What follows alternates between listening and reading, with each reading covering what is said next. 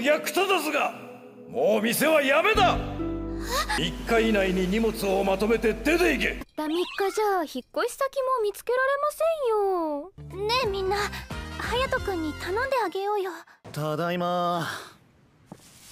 和菓子屋で大福もらったけど食べ。いつまで見てんのよ。合体技とっさのことだけど。いける？